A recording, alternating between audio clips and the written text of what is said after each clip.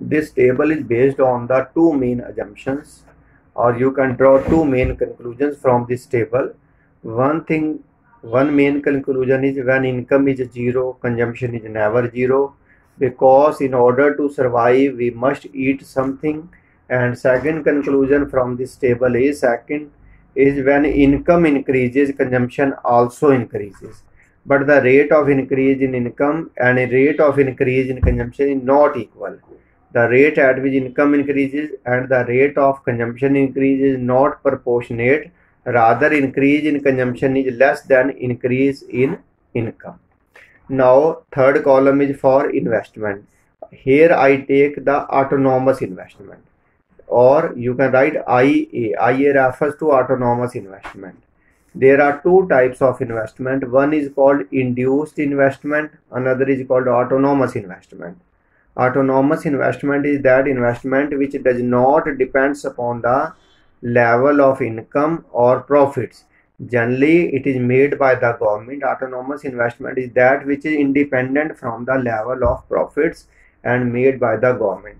Let's assume that rupees 100 are invested in an economy.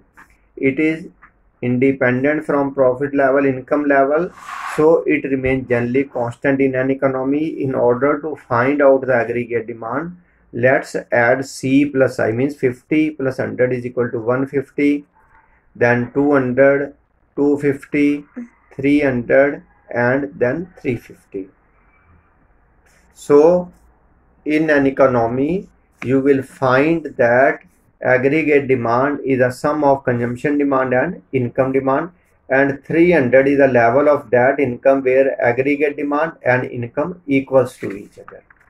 Now the another concept of aggregate demand is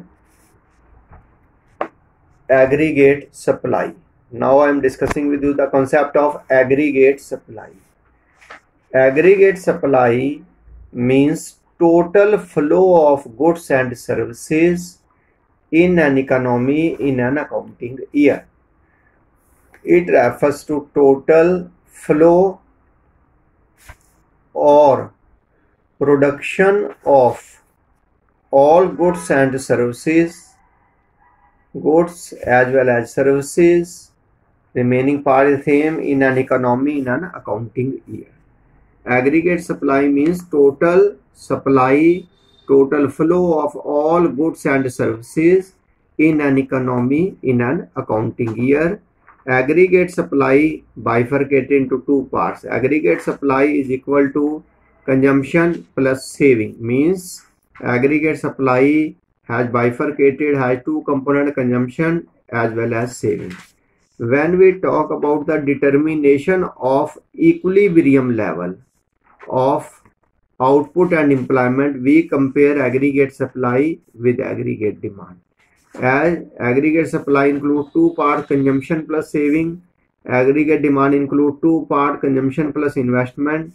Consumption are cancelled from both sides then saving is equal to investment. It means in an economy the equilibrium condition is either aggregate supply equal to aggregate demand and saving must be equals to the investment.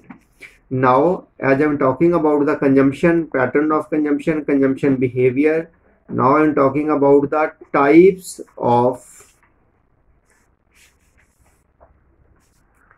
consumption